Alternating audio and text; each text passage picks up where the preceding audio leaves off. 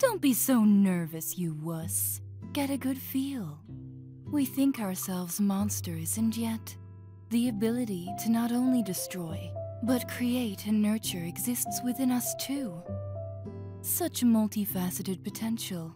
Perhaps this is the greatest culmination of human love that I wished to understand.